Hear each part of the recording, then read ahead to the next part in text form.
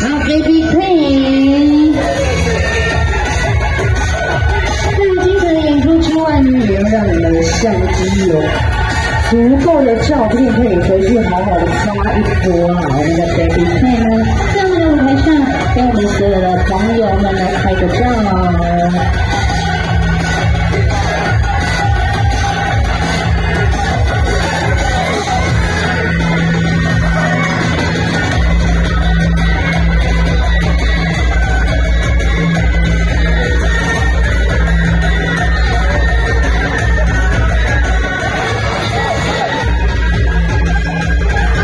Failure considered moment.